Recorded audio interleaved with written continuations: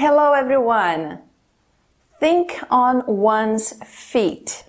Significa reagir a eventos de forma decidida. Pensar rápido. Listen and repeat. Quando você é chamado na aula, precisa pensar rápido. When you're called on in class, you have to be able to think on your feet. When you're called on in class, you have to be able to think on your feet. Graças a Deus você conseguiu pensar rápido e encontrou outra maneira de impedir que o tubo vazasse.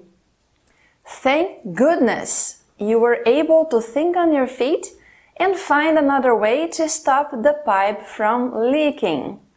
Thank goodness you were able to think on your feet and find another way to stop the pipe from leaking. Eu não consigo pensar rápido na frente de um monte de gente. I am not able to think on my feet too well before a bunch of people.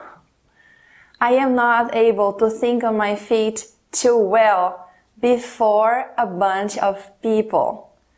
Agora faça uma frase com think on one's feet nos comentários abaixo e melhore o seu inglês. Siga o Melhore Seu Inglês no Instagram, no Facebook, no YouTube e procure pelo podcast Melhore Seu Inglês no seu aplicativo para ouvir podcasts.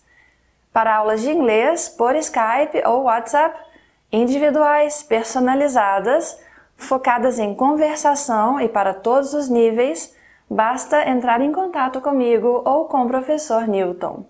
Um grande abraço and see you next class!